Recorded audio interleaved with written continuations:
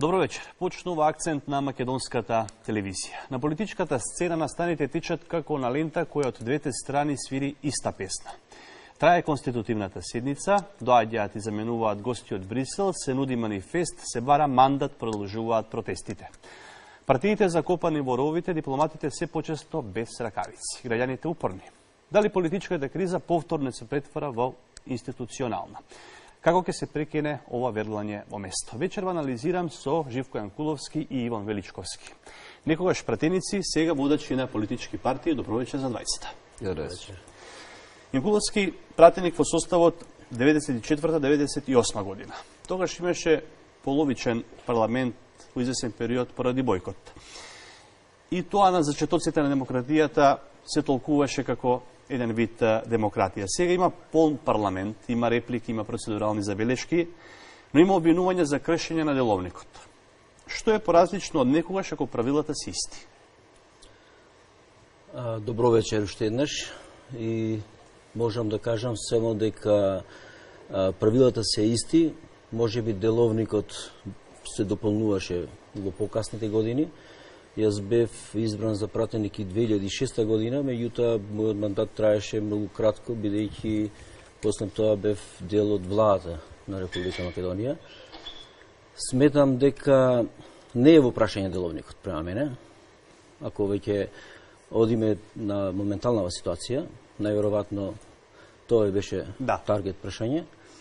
А, сметам дека во прашање да се најде разбирање и заеднички јазик. Ако се има разбирање, деловникот секако се прави.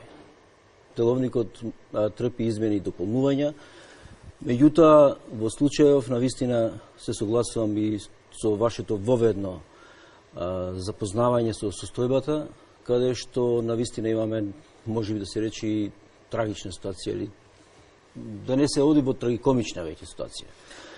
Добро е да, да сепак, еве има и некоја најава, седнат лидерите, седнат лидерите и да најдат заедничко решение. Да не се чека секогаш од страна некој да ни каже и да го, да го изнајдуваме тоа решение. Затоа што секогаш од страна ќе биде наметнато решение. Значи, најдобро би било меѓу себе да се договорат. Меѓутоа, она што самите можеме да го видиме, оди многу тешко, и се надевам дека сепак на крајот добро ќе заврши. Благодарам како за вовет. Величковски, вие бевте во пратеничката фотелја 2011-2014. Не беше баш удобна, особено на крајот на 2012 година. Неделава дел од пратениците на СДСМ е напуштија седницата во знак на протест поради начинот на кој председавачот Јановски ја води и го повика да се повлече. Тој одговори дека не иде до мраз и дека не исполнува желби. До каде може да оди трпението со ваквиот развој на настаните? Има два дела на овој одговор. Трпението ќе постои до тогаш до кога, до кога постои причина за такво трпение, тоа е првата работа. Второ, Велјановски не е дедомрасно, не е ни председател на собранието, тој е председавач на седницата. За жал, кога се утврдува, така да кажем, сценариото за текот на седницата, Мислам дека се направени два превида од страна на СДСМ кои пријатно нема спроведено доволно широка консултација по тоа прашање. Прво да се остави Трајко Велјановски за председавач на седницата беше непотребно затоа што уставот дефинира дека најстариот пратеник ја свикува конститутивната седница. Еве ако не беше избран Велјановски, немаше од улица да го влечат веројатно. Тоа е првата работа и второ се знаеше дека натаму ВМРО ДПМН ќе се обиде филибастерингот да го спроведе до крај, да ја одужи што е можно повеќе и да, да го да, да, дискусијата и да го избегне деловникот, кој притоа, ќе напоменам е менуван паралелно со ерозијата на а, демократските инструменти во самиот деловник и во практикувањето на власт. И затоа ова денеска не е трагична ситуација, но сигурно е дека е политичка трагикомедија и ќе ги разберам, но нема да ги оправдам сите оние кои што нормално се во коалиција со ВМРО ДПМН, како што е господинот Јанкуловски, и ќе се обиде да најде логика на ваквото однесување, но од друга страна, значи морам да кажам дека не се искористени инструментите на самиот почеток. Едноставно сметам дека немаше можност да се остави, немаше потреба да се остави Велјановски да преседава со седницата, Напротив, мислам дека а, веројатно во правењето на проценките направен е обид да тоа изгледа што е можно по да го наречам по-мазно, по-лагодно и конститутивната седница да трае онолку доволно време, временски период, за да може да се испеглаат некои политички разлики. За жал, предупредувавме и во текот на изборната кампања, во која самостојниот настап го фокусиравме на ризиците, не, сам, не само на што се случуваше, туку и на ризиците од тоа што ќе се случува. И еве ги тие ризици се потврдуваат после некое време. Зашто го делам одговорот на два дела, само да потенцирам. Оваа криза и 2011-2014 е кризен мандат, да не се лажем. Изфрлањето на нас пратениците од опозицијата од страна на маскирани политички, полициски службеници кои беа пријавени како да се одобезбедување од собранието, покажа дека се злоупотребуваат институциите и се селективно се применува правото. Но во вториот дел, на да не забораваме дека по кризата што се случи и пржинскиот договор, оставен уште еден елемент кој сега се покажува дека е а, значаен дел од продлабочувањето на кризата, тоа е Иванов. Тој беше тргнат на страна од пржинскиот договор, таква беше проценката на подписниците, веројатно беше таква проценката и на а, посредниците од меѓународната заедница. И а, во формирањето на тој пржински договор, ќе ве подсетам дека имаше сериозни резерви од страна на либералната партија. Токму заради тоа што не може а, да бидат спорни па, само парламентарните избори и владата што произлегува од нив, а на истите избори на кои е биран председател, тој да не бил спорен. Не, напротив. И се знаеше дека Иванов ќе биде а, дел од спрегата на ВМРО ДПМН. Не само тука една Повелете. реплика, ако може се нарече реплика на она искажување на господинот Величковски. А, значи, спомна, бидејќи сме дел од коалицијата, мораме да поддржуваме на некој начин. Тоа сакаше најверојатно да, да каже она што го, а, го, го застапува ВМРО ДПМН. А, видите, во, во ситуацијава јас не можам да се согласам со тоа искажување.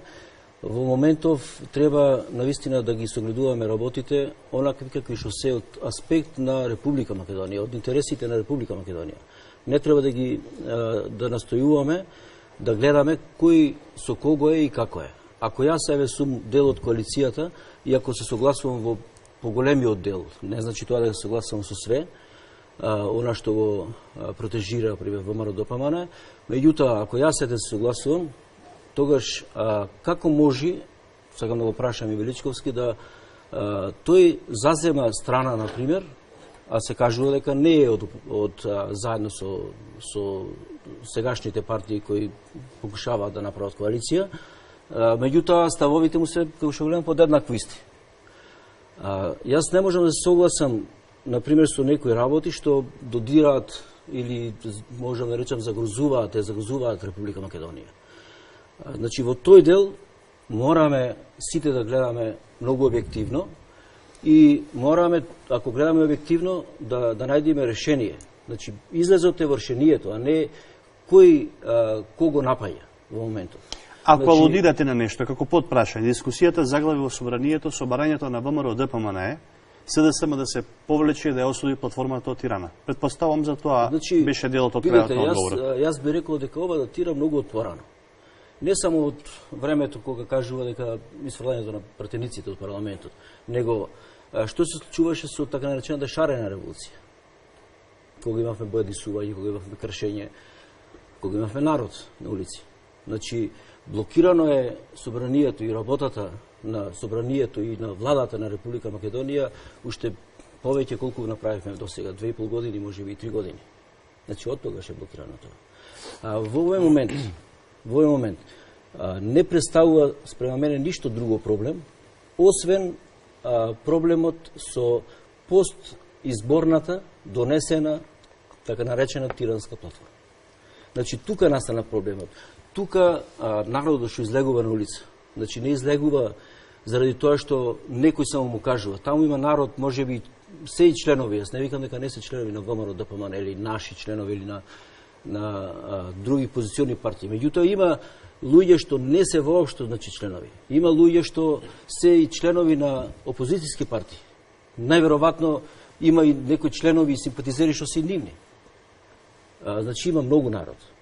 А, незадоволството е во тоа што со таа платформа се смета дека сепак се навлегува, иако се кажува дека не се навлегува во а, а, загрозување на Уставот, значи се навлегува во загрозување на Уставот. Ние сме можеме да видиме, ако одиме со ред, што се, се планира во таа тиранска платформа, можеме да видиме дека иако се искажува дека преку закон нема да се загрози уставот, значи свесни сме и тие што го кажуваат се свесни дека сепак се загрозува уставот. Меѓутоа, преку формата закон, каде што 61 пратеник може да го донесат, и се додека после тоа, од кога ќе се донеси тој закон, а, треба помини подолг малку период за истиот, например, да биде прогласен за противуставен, да биде истиот, од кога ќе се реализираат некои работи, па после тоа се да биде касно и враќање назад нема.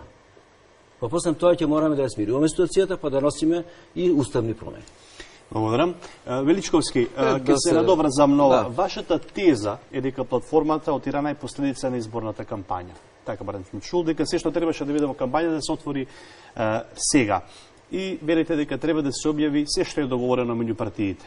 Колку е оправдан стравот од оваа платформа и идните последици за Македонија? Видете, јас на ВМРО, ДПМН и неговите коалициони партнери а, немам што да, да очекувам од нив повеќе или нова информација, бидејќи нивната цел беше да се создаде психоза. Но да се вратам назад на основната суштина. Значи, принципите за кои што зборувам се очигледно донесени во коалиција, ако се следи логиката на соговорникот, во коалиција со Европскиот совет, со Стейт департментот, со не знам, Министерството за надворешни работи на Канада и тие ги брани либералната партија во Македонија. Не е многу едноставно. Значи, јас зборувам ставови на партијата за она што значи владење на правото и за она што значи уставна дефиниција.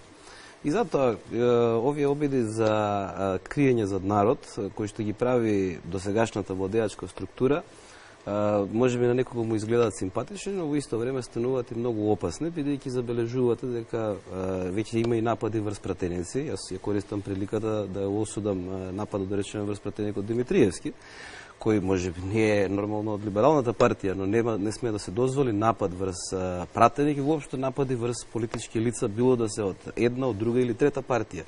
И воопшто насилството во Македонија не сме да владе. И сега, да разгледате ја сериозноста заради тој вординг, не ви е извинат. Не ви е извинато. Значи, поентата е во тоа дека кога го зборувам ова, кога сакате да дојдете до тоа, да застапуваме за некои работи, исти работи, небитно е дали вие ќе го кажете или јас.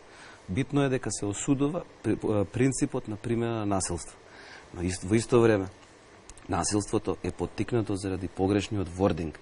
Насилството е поттикнато заради викање, заради уфрлување цело време во туѓи тези, заради обид за, така да кажам, киднапирање на тези и слично. И заради тоа да се вратам повторно значи, назад на она што е суштина. Да, јас инсистирам да се објави се, затоа што во основа, додека не дојдеме до суштината на проблемот, ќе се користи риторика во која, како и до сега, албанците гледам се ставени во средина или во тампон зона на односите меѓу ВМРО, ДПМН и СДСМ. Прва работа. Второ, доаѓаме до ситуација во која ние мора да си признаеме дека во кампањата за федерализација, кантонизација, опасности од тоа зборуваше ВМРО, ДПМН, на тоа темелеше тезата. За водење надрамковниот реализира договор, за одење над рамковниот договор зборуваше Заев на присуство, не знам во која беше она, во, во Берн, каде беше, во Швајцарија. И сега што очекувате? Албанците да излезат со, не знам, платформа за екологија. Значи, луѓе, оно што беше вординг во кампањата, оно што беше тези и оно на што се обидува сите да ја зацкријат суштината на проблемот во Македонија, а тоа е криминалот и корупцијата, во тој момент кога криминалот и корупцијата беше оставен на страна, а се посветивме на прашања кои вештачки излегува на површина, нормално е да се случи ова. Заради тоа, Јас ги гледам и оние обиди кои што беа направени, сега еве веќе од различни извори се, се слуша тоа. Дали ќе се случи, дали ќе се ќе го зборат колумнисти, дали сами политичари го изјави, веќе се заговараат лидерски средби. Значи, ако веќе доаѓа до лидерски средби, бидејќи стилот во ово, ово, ново што се случува во собранието, на крај води кон, и кон таква можност. Во старт предупредував во текот на кампањата заради тоа е убавината кога се оди на во самостоен настап. Да, вистина, нашиот не, ние немавме валоризација на, на, на гласови на, во форма на гласови на сето она што предупредувавме. Но луѓето веќе еве денеска стануваат свесни. Впрочем во сите средби со дипломатите за кои што ги следите и кои не прават можеби можеби вака интересни за некого. Немајте да мислите дека зборуваме за некакви завери или за нешто слично. Се бара решение. И затоа гледајте ја внимателноста, само уште една реченица ако дозволите, гледајте ја внимателноста и на тој е, меѓународен фактор. Ти доаѓаат тука, значи после Туски јас не очекувам дека може уште повисок представник од Европската унија да дојде. Нема таков. Но беше тука Могерини. Идам за Туск прашање. Суштината е во следното. Ниеден од нив не се меша во внатрешните работи. Ниеден од нив а, не си дозволува да премине линија на пристојност. Но очигледно е дека а, недавањето на мандат на јасно декларирано мнозинство за сите е, покажува дека линијата на политичка пристојност во Македонија е премината и таа е од Иванов.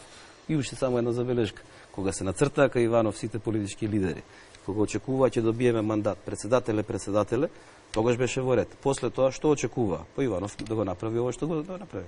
Заради тоа кризата е многу подолго генерирана ќе треба уште малку време за да помине. Само да Повелете? додам уште Да. нешто. Значи, да се разбериме.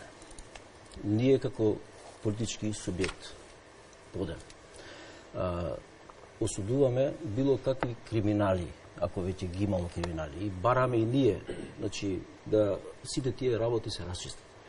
Меѓутоа, јас и тука сакам да го прашам Иван, дали очигледно е за тиранската платформа, дека ја има.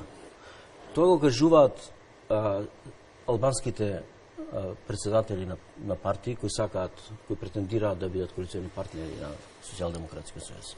Дали вие ја поддржувате таа платформа, само да ја прашам? А, и дали сметате дека во таа платформа, дури имавме, мислам, и во текот на вчерашниот ден, настап на господинот Груби, каде што му одговори на представникот на СДСМ, дека за вас може би е крај, меѓутоа за нас не е тоа.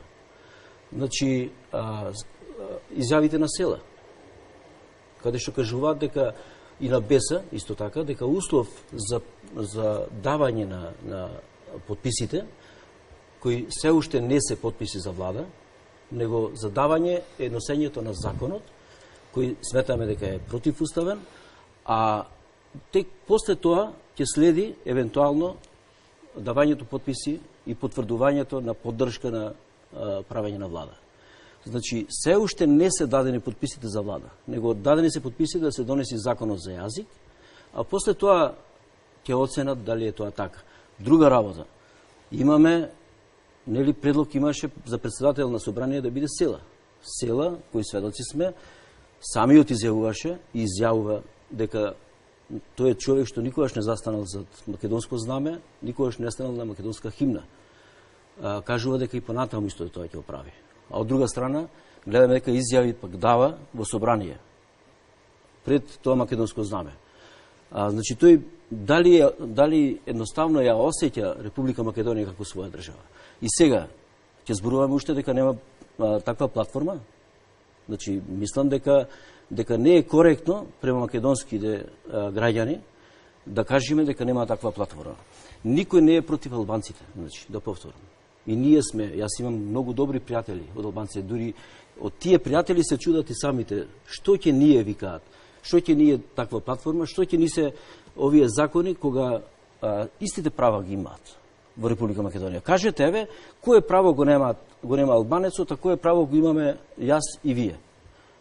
Значи, истите права ги имаме во Република Македонија.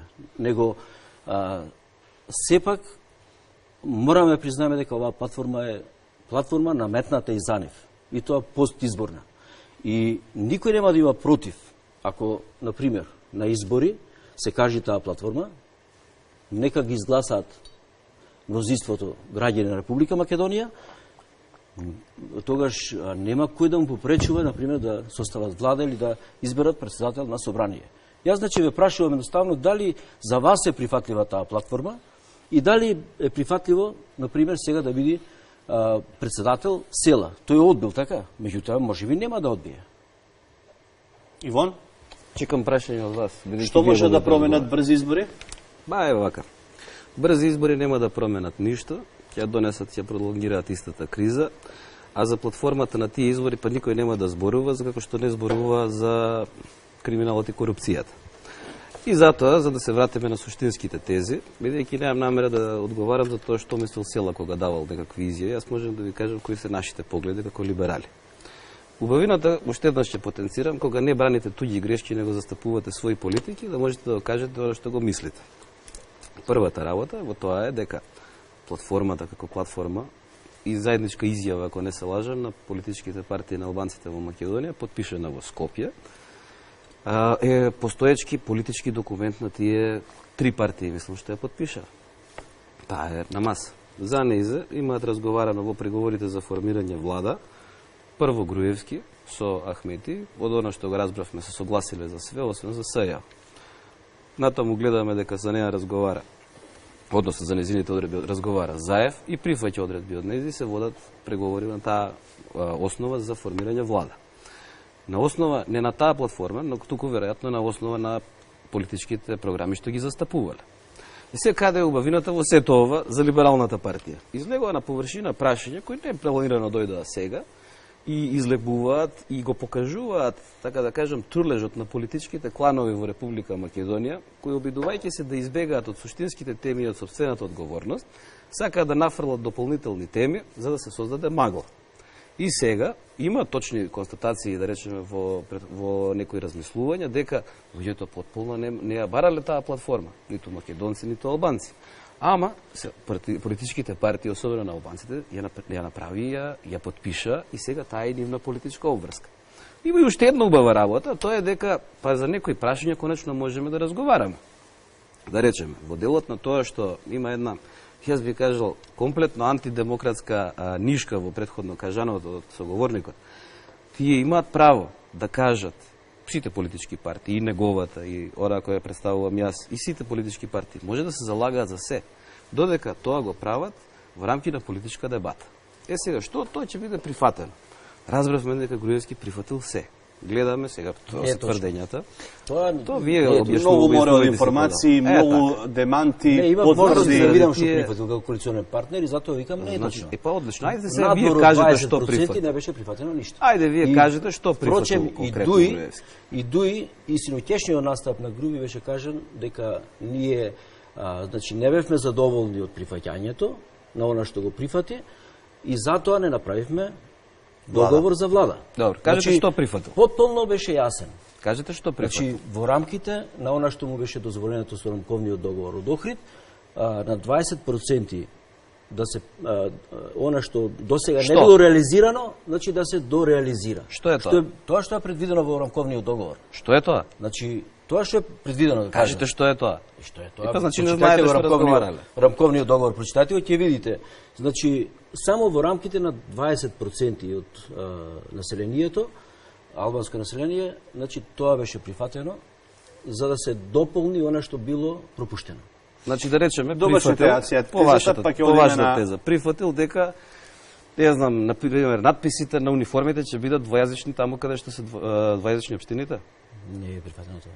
Не е прифатено. Што е прифатено? Не, тоа вие го прифаќате бидејќи викате дека платформата за вас е прифатена. Не, видете сега, убавината уште еднаш ќе ве потсетам, вие морате да ги браните грешките на Груевски. Јас ве разбирам. Не ги бранам грешките. Јас сум Убавината во целата оваа работа е што либералната партија, партија ниту преговара, ниту е составувач на влада.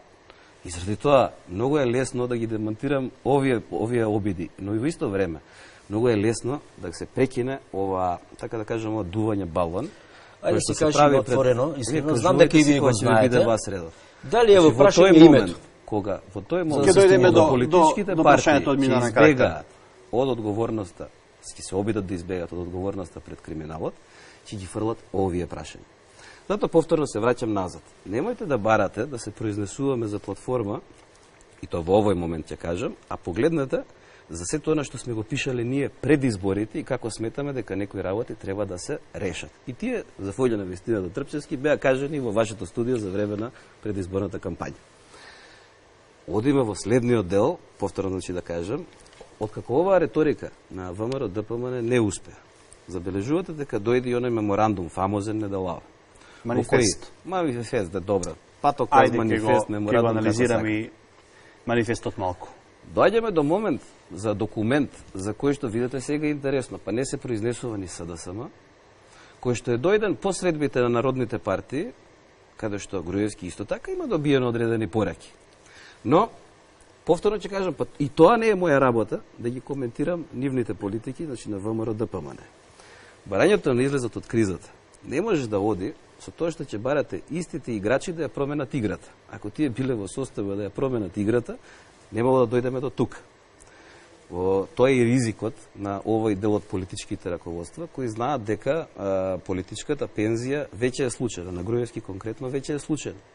Сега веројатно тој го бара моделитетот како, под кои услови таа да се случи. Но и тука не сакам да навлегувам затоа што кажувам кога зборувам за играчите и играта, а, една игра има повеќе играчи, нема само еден. Заради тоа да се вратиме значи назад на Да поентирате, обидите, да.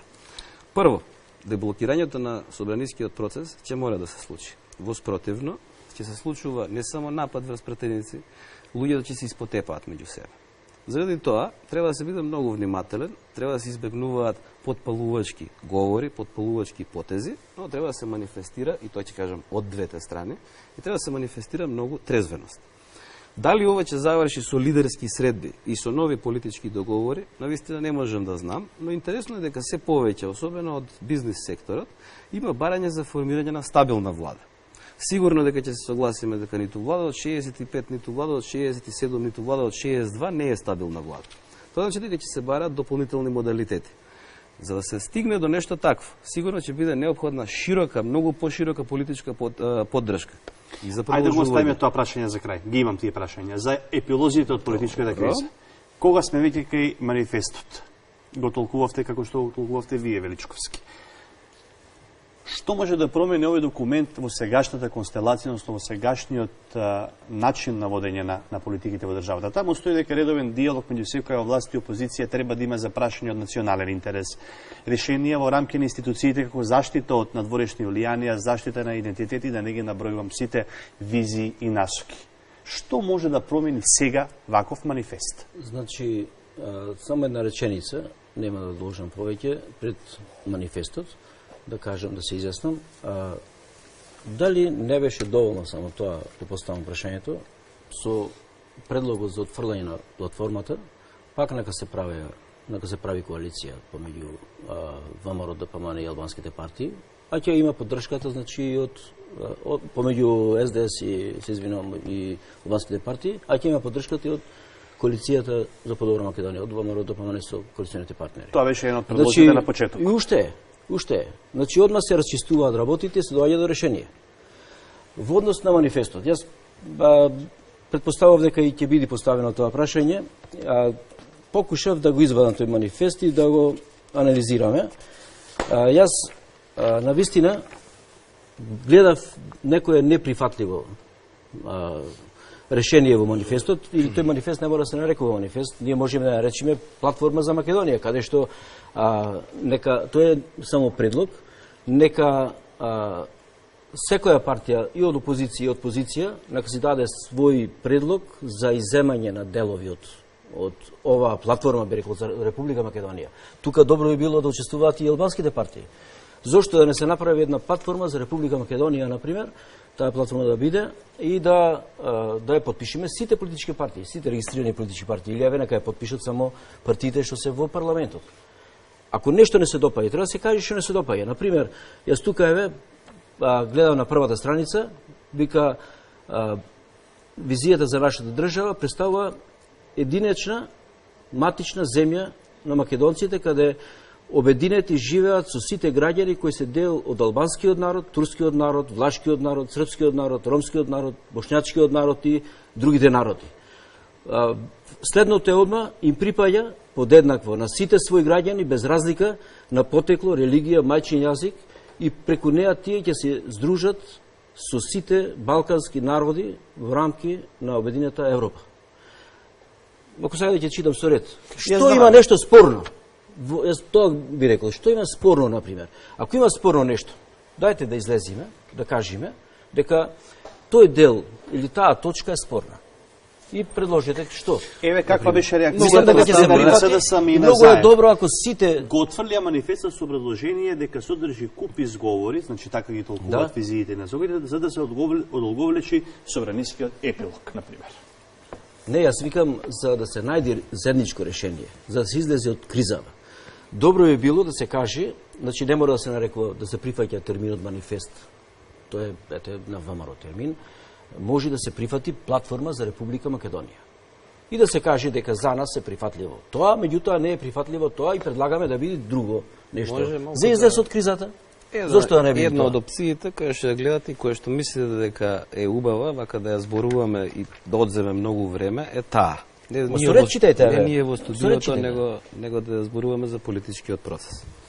Е, се да зборуваме вака за земјоделците, да речеме, кои ги немаат добиено субвенциите. Или за стопанството кој има голем проблем. Тие за манифестот, за платформата, зашто сакате уште, или за програмата на владата, која што беше презентирана од страна на Заев, искрено речено во моментот не водат многу сметка и не, не се занимаваат, замараат со тоа. Тие луѓе бараат решенија за да можат институциите да не бидат блокирани за да не сопрат исплати, да ве подсетам дека во овој момент и требало да го знаете, убеден сум дека го знаете. Изложеноста на нашата економија станува многу поголема. Наши зголемувањето на спорните кредити. А, промената на клаузулата од денарска во девизна во штедењето ви покажува дека многу скоро денарот ќе ќе најде на сериозен проблем. Стопанството има проблем. Замислете што ќе значи една девалвација на валутата под вакви услови. Значи, се, и сега вие ќе ми зборувате за манифести слично. Па немајте да си играме играчки. И вие сте били одговорен политичар, и јас. Знаеме дека немаме време за такви играчки. Во исто време, ова покажува дека мора да се бараат брзи решенија, затоа што опасноста на која веќе сигнализира, сигнализираат и комори на стопанственици, и комори на работодавачи, покажува дека кондицијата, особено во земја во која над 30% државата е нарачател на услугите, ќе дојде на колена. Сметајте дека продолжува иселувањето од Република Македонија. Наскоро ќе имаме проблем со работна сила. И знаете тие луѓе и тие семејства колку се засекирани за манифестот или за да и да ви кажам и за нашава дебата вечер воопшто. Тие бараат ние да произведеме решение. За тоа бараат, за воѓа на вистината, бараат и институции. За тоа гласале, за тоа сакаат да се формира влада. Па- Пазете, тоа го кажувам, во услови во кои ниту ќе учествуваме во таа влада, бидејќи не сме коалициони партнери, имаме разлики за некои Може решенија кои што се... учествувате? А, ама видете сега, Поддршка да не случајно давате.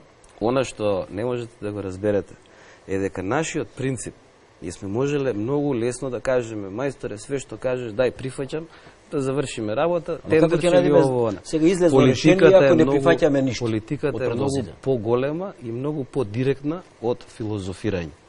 Затоа кога ќе дојдеме на крајот на денот што го викаат тоа сега многу модерно. Има еден едноставен начин. Деблокада на собранискиот процес.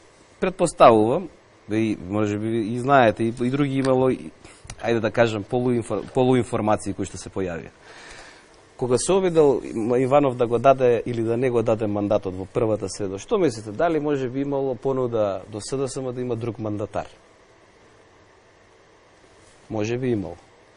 Значи, ајде сега, размислете колку работи се случиле до сега, а ние зборуваме за манифести за едно за друго. Решенијата биле барани, може би не се нашле во таа форма. Значи, према вас решението Поентата е. да се прифати она што го предлага социјалдемократскиот сојуз во моментот. Вие и- нешто или не сакате да разберете, и албанските партии или сакате да и извртите се решава проблемот така. А не ги почитувате оние не усвојува ниту манифест на ВМРО така? ДПМН, Собранието не усвојува ниту манифест на ВМРО ДПМН, ниту платформа на партија, ниту ништо. Усвојува владина програма, бира влада. Ви кажувам и во самиот старт, таа влада ќе има сериозен проблем и нешто што мораме да предупредиме. Влада со 62 во секој момент може да изгуби 3 четворица пратеници, може да падне. Па Тогаш уште значи. поголем проблем ќе се јави. Значи нашата работа е да ги бараме одржливите решенија. Да вака да спомнавте се согласувам со една работа, и заплашувањето и Се предупредувањето. извинувам, само за да, За да ви поставам Согласувам дека прашање. кризата предизвикува нова криза. Точно, економијата ќе страда. И она што кажуваш. Не согласувам со земјоделците дека нема да му бидат исплатени субвенциите, значи тие ќе бидат денови исплатени со тие субвенции. Имаше некои технички проблеми, значи се решаваа тоа. Меѓутоа дека економијата ќе страда ако вака потрае ситуацијата, тоа е точно. Меѓутоа, од друга страна, не можете да кажете дека решението е сега ако едната страна ја ги прифати предлозите на другата страна и готово се решава прашањето. Ако се седнува, например, на маса, да се разговара, повторно ќе излезе некој ваков документ. Ако не излезе од ВМРО ДПМН, ќе излезе од Социјалдемократскиот сојуз или ќе излезе од, а, од страна, за да се реши прашањето. Значи, зошто? Затоа викам дека како изгледно решение е и овој манифест, каде што можат сите партии тој манифест да го претворат во платформа на Република Македонија, каде што и албанците, и турците, и ромите, и, и опозиционите партии, и позиционите, сите заедно се договорат како понатаму со Македонија. Значи, зошто да не би тоа едно од решенијата? Ајде да финализираме. Тројката европратеници од Страсбур денови има порака кога сме кај одговорноста. Нема оправдување за одолголегувачките тактики што се користат во собранието. Значи, бараат деблокада на собранието. А, дали ова предупредување е заплашување за побрз расплет на настаните или веќе искрен апел за превенција од можни идни санкции за земја? Искрен да видам, значи, а, нормално е да европските претеници се залагаат за побрз, побрзо решавање на, на кризата во Република Македонија. А, меѓутоа, од друга страна мораме да го да ја видиме изјавата, например, да разгледаме она изјава што беше на Туск последната. Ме вчера или денес мислам дека излезе со изјава и, и НАТО, председателот на НАТО. А, мислам дека беа навистина поприфатливи и по разбрани изјави, би рекол, затоа што сепак решението повика да се најде во помеѓу политичките партии, односно помеѓу лидерите на тие политички партии во Република Македонија. Значи повторно да се седни и да се најде тоа решение. Не треба да чекаме секогаш од надвор да ни ги решаваат проблемите. Зошто јас ги повикуваме лидерите и на ВМРО ДПМН, и на Социјалдемократска сојуз, и на албанските партии да седнат да најдат решение. За никој не е добро ова. Не може да се каже дека е добро за за партиите што коалицираат во со ВМРО ДПМН или пак за партиите што не коалицираат, а ги поддржуваат Социјалдемократски сојуз. Значи за никој не е добро. Кус одговор. Последен А може нова одговор влада, на ова претходно ке му одговорите? Нова влада, коалицијска или широка, ново пржино, нов рамковен договор или нови избори? нови избори се према мене решението. Значи, јас сум свесен дека ниту ќе биде прифатена а, поддршката ако се отвори платформата од страна на Заев, нема да ја отвори платформата прво и прво. Премногу си има задолжено господинот Заев за таа платформа. Значи, не треба да очекуваме и мислам дека треба да престани дури и понудата околу, а, околу отфрлање на платформата. А, решението е нови избори. Гледаме до кај стигнавме сега со локалните избори. Веќе сме во голема криза. Влегуваме уште во поголема криза. Значи, решението е само нови избори. И ова што го рече Величковски, дека со 62 пратеници, ако ги има, не е таа стабилна влада. Таа влада ќе трае многу кратко. Таа влада нема ништо да реши. А, освен нови избори, мислам дека друго решение нема. Благодарам. Величковски? Ајде малку повторно во два дела. Да финализираме, да. Финализираме. е Затоа што, освен Туск, допревме преска поенти од неговата порака, дека е тешко Пораката време да кога бара бара. државнички одлуки. пораката да се бара одлука согласно здравиот разум и ми ја пред, предлагам и на политичарите кои што одлучуваат значи за ова за брзо решавање или помалку брзо решавање на кризата и на овие кои што дебатираме тука. Прво и основно имате демократски процедури. А, врз основа на кои јасно е дека има дефинирано мнозинство, има кој да го даде мандатот, има кому да му се даде мандатот. Затоа, секој обид, повторно кризата да се сведе на тоа дека проблемот е кај албанците, е погрешен. Одговорност мора да бараме пред се кај партиите која создадоа кризата, а мора да си признаеме дека ни ДУИ ни ДПА во минатиот состав не беа креаторите на кризата. Таа е создадена, односно еруптира откако се слуша прислушувањето на над 20.000 граѓани во Република Македонија телефонски. И затоа после излегува дека прислушувањето е мајка на владењето. Затоа се зборува за владење на правото, за примена на законите, не селективно. И врз основа на тие премиси, ние мора да дојдеме до функционални институции кои ќе гарантираат дека законот се носи, се применува. Во него се содржани еден закон одразува прво и основно обштествени норми брани, брани е, норми во- на однесување, брани е, имот, справа, слободи, живот. Заради тоа, е потребно функционално собрание. Но во исто време, таа, тоа ја бира владата, која што има легитимност потоа кредибилитет, па може да иницира и разговори за платформски документи на земјата за незиниот иден развој. Во овој момент, ние да зборуваме за манифест или за било што во услови кога институциите не функционираат, е смешно и заради тоа мислам дека сите добронамерни совети кои што доаѓаат од странските пријатели треба сериозно да се разгледаат. Но оно што сакам да уште еднаш да апелирам и тука верувам дека сите сме едногласни. Што побрзо се дојде до принципијално решение засновано на нормите, во случајот на Уставот, многу полесно ќе биде. ВМРО ДПМН мора да свати дека нема да ја крира влада, ината влада. Затоа, во колкав обсек таа влада ќе ги надминува рамките на декларираното мнозинство, кое 67 пратеници бараат да му биде даден мандатот на мандатарот. А што ќе одлучат после и како ќе си преговараат? Живи били па видели. Колку ли да се, 67, 69 или 62, како сакат. Небитно ми е. Поентата е да се дојде до тоа, да почне процесот. И на крајот на криштата, јасно ни е на сите дека за одредени прашања ќе биде потребен консензус од многу повеќе, тоа да не речеме од 81. Но тие прашања не се однесуваат на уставот, се однесуваат на темелни законски уредувања на материите, од судство ако сакате до што и да е.